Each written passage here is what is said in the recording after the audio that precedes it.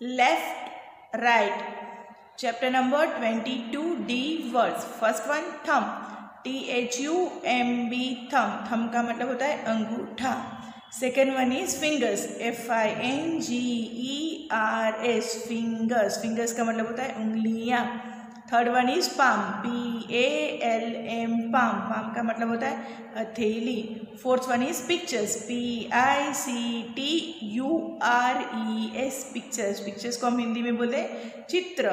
Fifth one is behind B E H I N D behind behind का मतलब होता है पीछे. Six one is front F R O N T front front का मतलब होता है सामने. Seventh one is outline O U T out L I N E line outline outline को हिंदी में बोलते हैं रूप रेखा।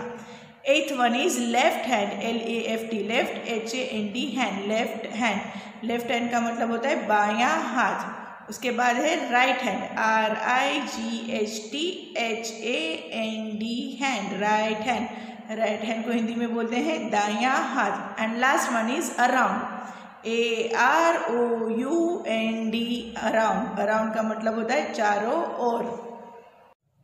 Hello students today we will study chapter number twenty two left right तो let's begin given below is the picture of a hand तो बच्चों देखो यहाँ पर, नीचे ये पिक्चर हमें दिखाई दे रहा है, वो किसका है? हैंड का मतलब कि हाथ का. Place your hand on it so that palm face is the paper कि आपको क्या करना है आपका? जो हाथ लेके वहाँ पर रखना है, जो ये आपकी पाम है, वो फेस करे किसके ऊपर? ये पेपर की तरफ़, जैसे पिक्चर में हमें दिखाया गया है। Your thumb and finger should be placed on those drawn in the pictures कि आपका थम्ब और आपके फिंगर्स जहाँ पर ये पिक्चर में ड्रॉ किए गए हैं, जैसे कि यहाँ पर फोर फिंगर्स है, और नीचे यहाँ पर साइड में थोड़ा सा थम दिखाई दे रहा है। वहाँ पर आपको अपना थम रखना है और एग्जैक्टली exactly उसी तरह से करना है। देखो स्टूडेंट इस तरह से पूरा पिक्चर है और आपको इस तरह से हाथ रखना है और देखना है।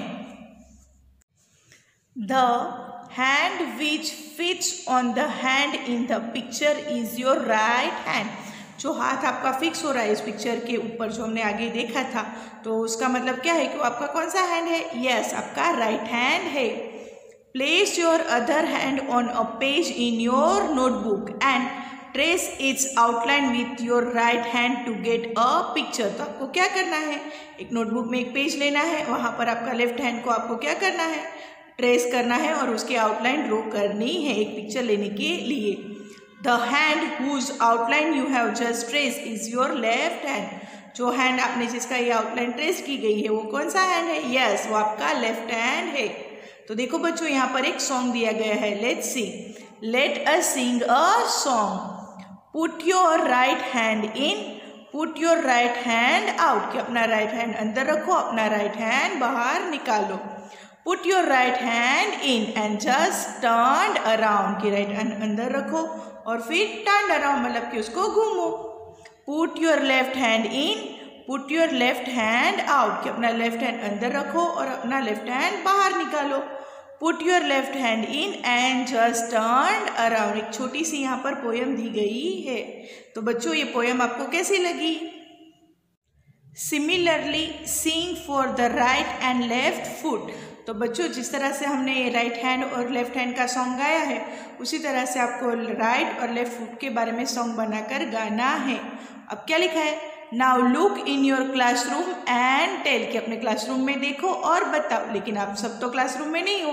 तो आपको क्या करना है? अपने घर में आपके आसपास कौन है? वो देखना है और बताना है। तो let's see what is the first question what is there on your left कि आपके लेफ़्ट के तरफ़ क्या है? उसके बाद क्या है?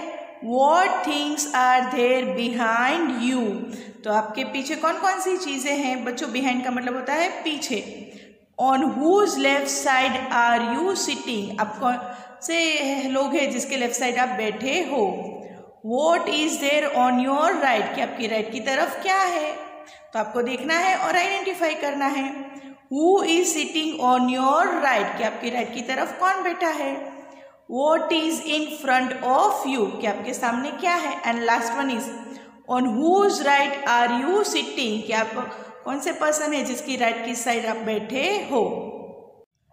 This is a picture with Ruchira in the centre तो बच्चों, अभी आपको दिखाई नहीं दे रहा है, लेकिन यहाँ पर मैं आपको पिक्चर अभी दिखाऊँगी। एक गर्ल है, उसका नाम क्या है? रुचिरा वो कहाँ पर बैठे हैं? सेंटर में। सेंटर मतलब कि बीच में बैठी है। इन दिस पिक्चर ड्रो इस पिक्चर में आपको क्या ड्रॉ करना है? अ बुक बिहाइंड रुचिरा के रुचिरा के पीछे क्या होना चाहिए? Book and animals on Ruchira's right की राइट की तरफ़ क्या होना चाहिए कोई एक एनिमल होना चाहिए a chair on Ruchira's left और लेफ़्ट की तरफ़ क्या होना चाहिए एक चेयर होनी चाहिए a tree in front of Ruchira और रुचिरा के सामने की तरफ़ क्या होना चाहिए एक ट्री होना चाहिए चीज़ सारी आपको ड्रॉ करनी है देखो बच्चों ये पिक्चर है रुचिरे का ये बॉक्स दिए गए वन टू थ्री फोर और बीच में रुचिरा बैठी हुई है। इसमें आपको अलग अलग चीज़ जैसे मैंने ऊपर आपको बोला, उस तरह से करनी है कि बिहाइंड क्या होना चाहिए? बुक राइट की तरफ़ क्या होना चाहिए? कोई एक एनिमल आप अपनी चॉइस का ड्रॉ कर सकते हो और लेफ़्ट की तरफ़ एक चेयर होनी चाहिए और उसके सामने एक ट्री होना चाहिए। तो ये ड्राइंग आपको कंप्लीट करना है। Guide Ruchira from home to school तो बच्चों, यहाँ पर आपको क्या करना है? ये रुचिरा नाम की जो गर्ल है, उसको आपको गाइड करना है। कहाँ से लेकर? होम से लेकर स्कूल तक। Find the school in the picture तो पहले आपको क्या करना है? नीचे जो पिक्चर्स दिए गए हैं आपकी बुक में, वहाँ पर आपको स्कूल फाइंड आउट करनी है। उसके बाद क्या करना है?